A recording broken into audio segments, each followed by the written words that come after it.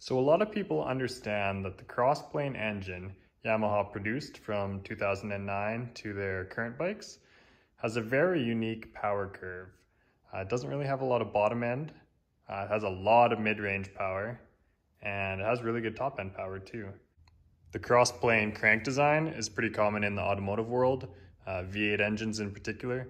That's why a lot of people think these bikes kind of sound like a more muscly, like a V8 would be. They have a really low end, uh, kind of grunty, deep noise to them. But a lot of people don't understand what causes that. Everybody knows these have a unique firing order, but even myself, I didn't understand how different the firing order was until I looked into it more. So let's go over to the bench and I made a little illustration to try and demonstrate and explain just why these bikes don't really have a lot of bottom end and why they have really good mid power, unlike a traditional flat plane. So let's start with the flat plane. Flat planes have been around forever and you see them in almost all the crotch rocket style bikes. These are the cylinder numbers. This is your traditional firing order. One, two, four, three, in that order. So cylinders one and four are synced together and two and three are synced together. They move up the bore at the exact same time. They just fire on opposite uh, crank rotations. So let's break this down a little farther. You're on top dead center, cylinder number one. Now cylinder number four is at top dead center as well, but that's not the hole that's firing. Cylinder number one is on its power stroke. Your crankshaft rotates 180 degrees. Now cylinder two is at top dead center. Cylinder number two ignites, power stroke 180 degrees, then cylinder four 180 degrees, cylinder number three 180 degrees, and you're back to top dead center on cylinder number one on your power stroke. So as you can see, this would be a very smooth running engine. It's very balanced. Uh, one and four being synced together, two and three being synced together. Um, everything's just very balanced. It's timed very well. It's a very smooth and simple design. So this gives you very good idle quality and it gives you linear power through your entire rev range.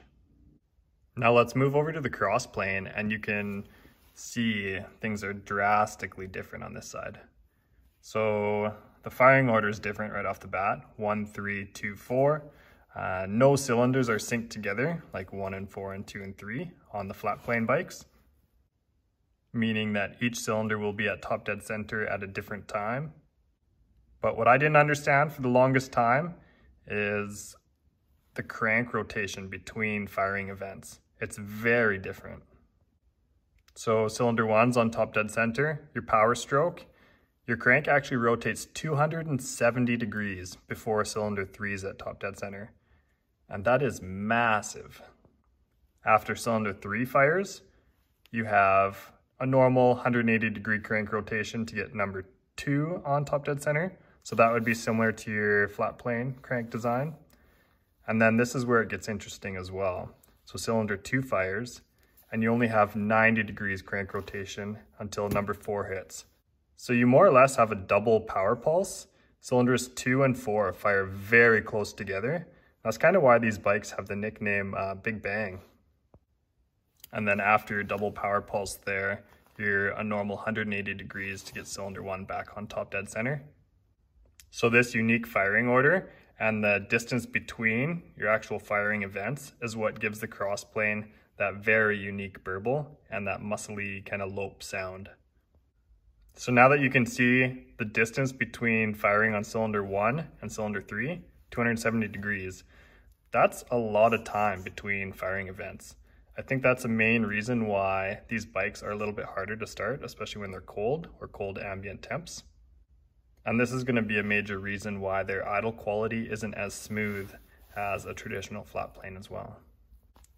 This large gap is going to be why you lose a lot of that bottom end efficiency as well. So these bikes don't really make a lot of power below five, 6,000 RPM, and they're not really efficient in that RPM range, you have to get a certain amount of engine speed to overcome this. And then once you get over 6,000 RPM or so, that's when this double bang event is really, really gonna shine.